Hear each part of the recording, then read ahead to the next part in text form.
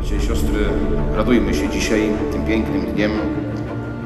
Dniem, który i przyjemnie ciepły jest, i jest słoneczko.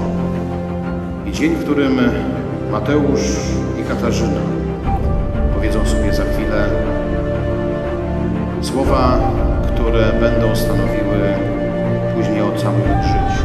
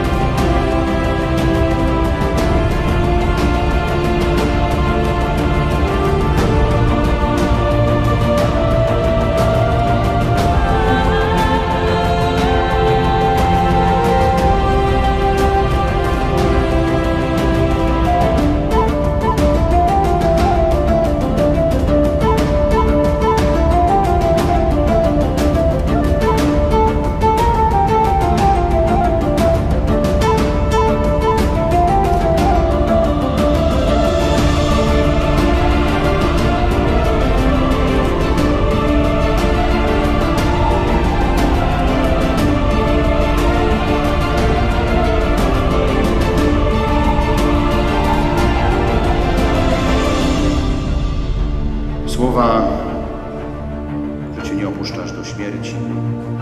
Słowa, że będę Ci wierny, będę Ci wierna, że ślubuję Ci miłość,